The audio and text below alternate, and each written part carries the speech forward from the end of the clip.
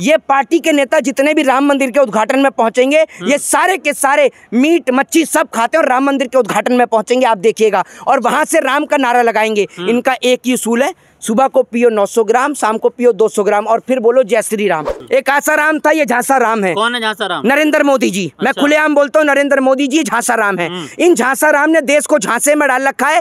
Party नहीं ये गिरोह चल रहा है। जो गिरोह इस देश को बर्बाद करने का काम कर रहा है। देश में मैसेज क्रिएट कर रखा है हिंदू मुसलमान का मंदिर और मस्जिद का। ये तस्वीर है सऊदी के प्रिंस और हमारे देश के प्रधानमंत्री नरेंद्र मोदी जी की। एक और हमारे देश के मुसलमानों से भाजपा की बेहद नफरत और दूसरी ओर विदेश के मुसलमानों को गले से लगाते हैं उनके तो हाथों पर किस तक लेते हैं? और मैं कहता हूँ कि आप अगर मोदी को वोट देते हैं तो दीजिए आज आपकी जो हालत है अगर उससे बदतर हालत पे नरेंद्र मोदी ने इस देश को लाके खड़ा ना कर दिया तो मेरा नाम बदल दीजिएगा। जिन मुसलमानों की आप बात करते हो पहुँच जाइए आप इंडिया गेट और देख लीजिए कि शहीदों में किसका नाम सबसे ज़्यादा लिखा हुआ है उसमें आएगा आपको मुसलमानों का निकल कर आप क्या बात करते हैं? मीर उस्मान अली ने इस देश को पाँच टन सोना दिया आपको पता ही नहीं है इस देश के इतिहास के बारे में। देखिए एक बात मैं आपको बताता हूँ जिस तरीके से लगातार देश के अंदर बढ़ते कर्जे की रिपोर्ट सामने आ रही है कि भारत देश के ऊपर कैसे कर्जा बढ़ता जा रहा है। इन सब चीज़ों का सवाल देश की सरकार के पास नहीं है। तो सरकार के पास एक ही रास्ता बचा था और वो ये था कि जितने भी विपक्ष के सांसद हैं उनको उठाकर बाहर बिठाल दिया जाए। और नरेंद्र मोदी जी संसद को अपना पार्टी कार्यालय समझ रहे हैं जिसमें सिर्फ़ मोदी जी की वाहवाही और उनकी जयकारे के नारे लगाने वाला ही व्यक्ति इस देश में बैठेगा पार्लियामेंट के अंदर बैठेगा। और मैं एक चीज़ कहता हूँ, जिस तरीके से आज आईएमएफ की रिपोर्ट सामने आई है आईएमएफ इस देश के लोगों को पता भी नहीं होगा कि आईएमएफ है क्या। आईएमएफ यानी अंतर्राष्ट्रीय मुद्रा कोष, उसने एक रिपोर्ट जारी करी और उस रिपोर्ट में उसने कहा है कि भारत के ऊपर 205 लाख करोड़ रुपए का जो कर्जा है, वो हो चुका है।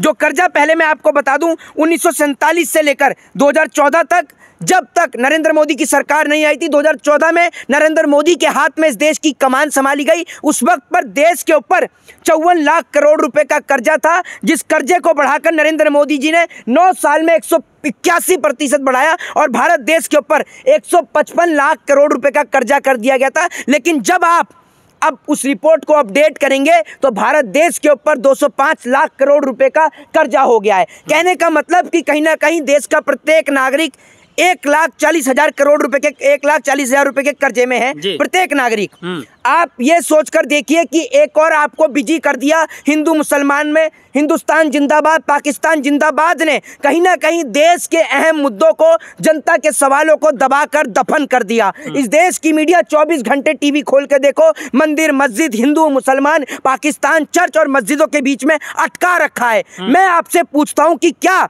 इस देश के लोगों के आपस लड़ने से भारत देश की इकोनॉमी डेवलप हो जाएगी। क्या हिंदू और मुसलमान के लड़ने से भारत देश के ऊपर चढ़ा कर्जा उतर जाएगा? तो इन सवालों का जवाब है नहीं। भारत देश के ऊपर ये जो कर्जा चढ़ रहा है ये कर्जा तभी उतर सकता है जब देश के लोग एकजुट होकर व्यापार करें और देश तभी तरक्की कर सकता है जब देश में नई नई कंपनियाँ बने। जब सारा उद्योग एक ही उद्योगपति के हाथ में दे दिया जिसका नाम अंबानी और अडानी है। जनता को कंगाल करके अंबानी और अडानी को माला माल कर दिया। अंबानी और अडानी पर सवाल करने पर पार्लियामेंट के अंदर लोगों की सदस्यता चली जाती है। नरेंद्र मोदी अडानी को लेकर जवाब नहीं देते हैं। और अगर कोई संसद में पूछ ले कि संसद के अंदर कैसे इतनी बड़ी चूक हो गई तो सांसदों को निकाल बाहर खड़ा कर दिया जाता है।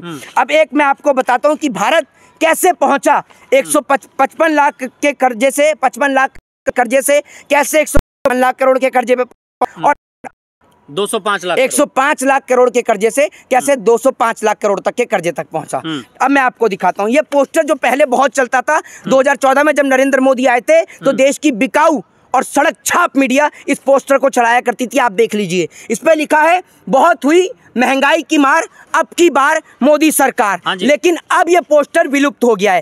अब तो सिर्फ़ टीवी चैनल और अखबारों पर एक ही चीज़ दिखाई जाती है मंदिर मस्जिद हिंदू और मुसलमान। ठीक है? लेकिन तस्वीरों में ये नहीं दिखाया जाता कि ये तस्वीर है सऊदी के प्रिंस और हमारे देश के प्रधानमंत्री नरेंद्र मोदी जी की। एक और हमारे देश के मुसलमानों से भाजपा की बेहद नफरत और दूसरी ओर विदेश के मुसलमानों को गले से लगाते हैं उनके तो हाथों पर किस तक लेते हैं? हम्म। आज की डेट में कोई मुद्दा इस देश के अंदर नहीं दिखाया जाता। ये रिपोर्ट है ग्लोबल हंगर इंडेक्स की मेरे हाथ में। जिस ग्लोबल हंगर इंडेक्स की रिपोर्ट में पाकिस्तान की रैंकिंग जो है जिस पाकिस्तान से भारत देश की तुलना करी जाती है उसका स्थान ग्लोबल हंगर इंडेक्स में 102 है। बांग्लादेश का इक्यासी जिस बांग्लादेश को हमने बनाया 1971 में पाकिस्तान के दो टुकड़े करे पाकिस्तान और बांग्लादेश बनाया। नेपाल इसमें जो है आपका 69 नंबर पर है और श्रीलंका साठवें स्थान पर है। और भारत की आपको रैंकिंग की बात करें तो एक नंबर पर भारत है ग्लोबल हंगर इंडेक्स यानी भुखमरी के मामले में। और ये मेरे कोई घर का डाटा नहीं है। आप जाके इसको गूगल पर सर्च कर सकते हैं जिस पर सर्च करने पर आपको पता चलता है कि भारत का सबसे फेंकू प्रधानमंत्री नरेंद्र मोदी जी हैं। अब बात करते हैं कि देश के ऊपर ये कर्जा बढ़ा तो बढ़ा कैसे? उस सवाल का मैं आपको जवाब देता हूँ कि भारत के ऊपर कर्जा कैसे बढ़ा। ये देख लीजिए। ये आरबीआई की जो रिपोर्ट है मैं आपको बता दूँ जिसमें जो हमारे देश के उद्योगपति हैं उनका कर्जा माफ़ किया गया।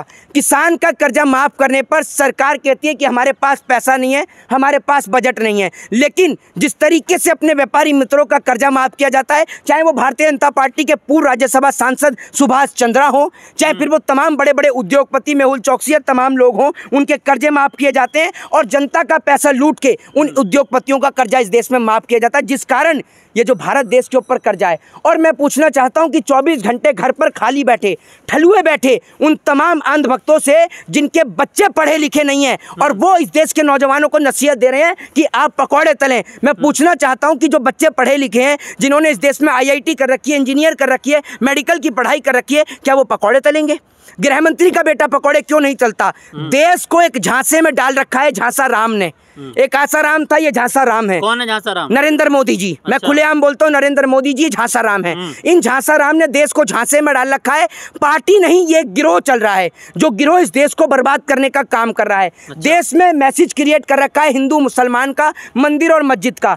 ये पार्टी के नेता जितने भी राम मंदिर के उद्घाटन में पहुँचेंगे ये सारे के सारे मीट मच्छी सब खाते और राम मंदिर के उद्घाटन में पहुँचेंगे आप देखिएगा। और वहाँ से राम का नारा लगाएँगे। इनका एक ही उसूल है सुबह को पियो 900 ग्राम शाम को पियो 200 ग्राम और फिर बोलो जय श्री राम। ये इनका। हिसाब है। जी। लेकिन मोहित शर्मा लाख विरोध के बाद पाँच राज्य में चुनाव होना तीन में फिर जीत हासिल करना क्या लग रहा है? मैं आपसे कहता हूँ कि ये जो जीत है ये जीत ईवीएम की है। और मैं कहता हूँ कि आप अगर मोदी को वोट देते हैं तो दीजिए।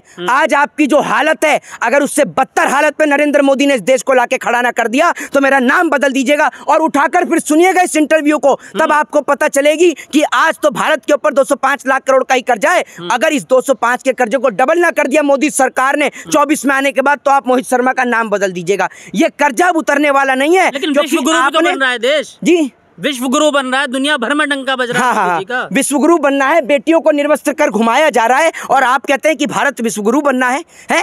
आप कहते हैं कि विदेश में मोदी जी का डंका बज रहा है। भारत देश के जवान सुरक्षित नहीं है। अभी भी दो दिन पहले आपने देखा हमारे जवान शहीद हुए। जिस देश में जवान सुरक्षित ना हो जिस देश का किसान सुरक्षित ना हो और जिस देश की बेटियाँ सुरक्षित ना हो आप उस देश को विश्वगुरु बताते हैं। कैसे विश्वगुरु हो गया भारत? हिंदू और मुसलमान को लड़ाने से भारत विश्वगुरु बन जाएगा।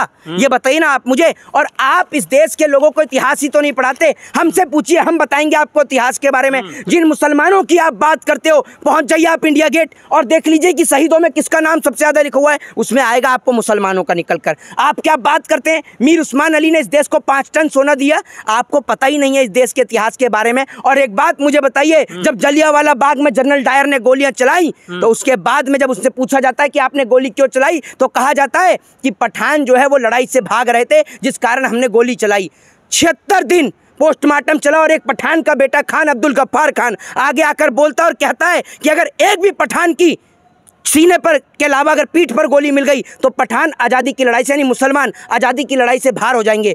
छिहत्तर दिन पोस्ट, चौदह दिन पोस्टमार्टम चला और छिहत्तर पठानों की लाश का पोस्टमार्टम हुआ। लेकिन एक भी पठान की जो है, पीठ पर गोली नहीं पाई गई, सबकी छाती पर गोली पाई गई। और आज आप उसी देश में लोगों को हिंदू और मुसलमान के नाम पर लड़ा रहे हैं। आप पढ़कर देखिए बहादुर शाह ज़फ़र के बारे में, जिनके बेटों का सर काट के उनको नाश्ते में पेश किया गया। रंगून की जेल में बनते उस टाइम पे बहादुर शाह ज़फ़र और उनके बेटों का सर काट के रख दिया। और आप कहते हैं कि मुसलमान ने इस देश से गद्दारी करिए। अरे, ये इस देश में रह रहे हैं। आज फौज जो है वो हिफाजत कर रही है देश की, उसमें मुसलमान भी हैं फौज में। अगर अनाज पैदा कर रहे हैं तो अनाज पैदा करने में किसान भी हैं और किसान भी हैं मुसलमान। हर तरीके से देश की इकोनॉमी को डेवलप करने का काम कर रहे हैं। और मैं एक बात बोल देता हूँ इस देश को बर्बाद करने के लिए किसी और की ज़रूरत ही नहीं ना पाकिस्तान की ना चाइना की। अगर मोदी जैसे दस नेता और इस देश की कुर्सी पे बैठ गए तो ये देश अपने आप तबाह हो जाएगा क्योंकि ये देश अगर आज बर्बाद है तो नफरत के कारण जो नफरत की दीवार मोदी सरकार ने खड़ी करी है ये नफरत की दीवार आने वाले दस साल के पचास साल में भी खत्म नहीं हो सकती। और इतने बेवकूफ़ लोग हैं इस देश के जिनको पता होते हुए भी कि अंग्रेज़ों ने एक नीति अपनाई फूट डालो शासन करो। हिंदू को मुसलमान से मुसलमान को हिंदू से लड़ाकर मुट्ठी भर अंग्रेज़ हमारे ऊपर कब्जा कर गए लेकिन आज दोबारा से ये फिर उसी गलती को दोहरा रहे हैं और गलती को दोहराओगे तो आप भुगतान भी भुगतोगे। लेकिन देश के हिंदू समाज से हिंदू समाज में रहने वाले लोग का ये कहना है कि सर उठाकर जी रहे हिंदू समाज के लोग। जब सर उठा के आई। पहले नहीं जीते थे सर उठाकर पहले नहीं जीते थे क्या जरा ये बताइए अगर सर उठाकर पहले नहीं जीते थे तो जब देश आज़ाद हुआ पैंतीस करोड़ की जनसंख्या थी हिंदुओं की आज सौ करोड़ पहुँच गई सर उठाकर जीने को किसी ने मना किया है हम्म। पहले हिंदुओं के बच्चे डॉक्टर इंजीनियर आईएएस और आईपीएस बना करते थे हम्म। आज इन्होंने हिंदुओं के बच्चों को बजरंग दल आरएसएस इसमें घुसेड़ दिया और हम्म। सिर्फ़ बीजेपी के नेताओं के बच्चे कोई बीसीसीआई में बिना क्रिकेट खेले जा रहा है कोई विदेश में पढ़ने के लिए जा रहा है। बाकी जनता को पागल बनाया जा रहा है कह रहे हैं कि कभी जिस इतने लंबे वक्त से जो मंदिर का लफड़ा चल रहा था वो कहीं ना कहीं भाजपा ने सुलझाया। देखो भाजपा मंदिर बना रही है। खुश होना चाहिए आपको भाजपा की औकात है राम का मंदिर बनाने की। जरा मुझे कोई ये बताए हम्म। ये लोग कहते हैं कि जो राम को लाए हैं हम उनको लेकर आएँगे। अरे आपकी औकात है राम को लाने की। हम्म। राम ना होते तो आप नहीं आते।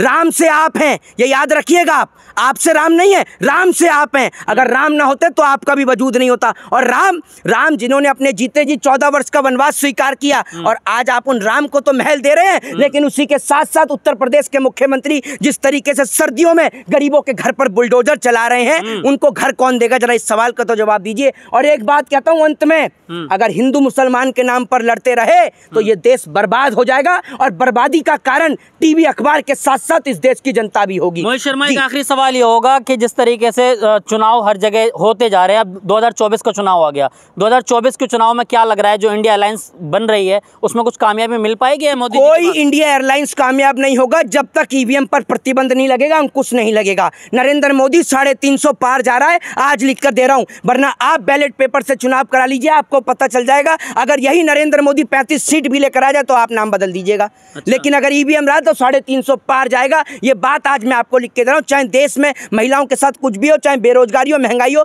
जनता को फ़र्क ही नहीं पड़ता। जनता को वो सड़ा हुआ जो मुर्गी जो चावल खाती है वो चावल देकर इन्होंने खरीदने का काम करा है सड़ा हुआ गेहूँ देकर खरीदने का काम करा है। और वही जनता जो है इसी राशन में बिक चुकी है। जनता को मानसिक तौर पर अपाहिज बना दिया। लोग काम करने के लिए जाते नहीं। गैस का सिलेंडर महँगा कर दिया। लकड़ी तोड़ने पर केस कर दिया। यही भाजपा ने किया है। चलिए बहुत बहुत शुक्रिया हमारे साथ मोहित शर्मा थे। इन्होंने कहा कि ईवीएम से चुनाव जो है अगर हुआ तो साढ़े तीन सौ पार जाएगी भाजपा। लेकिन ईवीएम अगर हटाकर चुनाव किया गया तो पैंतीस सीट भी नहीं ला पाएँगे। क्या कुछ अपडेट रहेगी देखते रहिए जुड़े रहिए पीआरबी के साथ।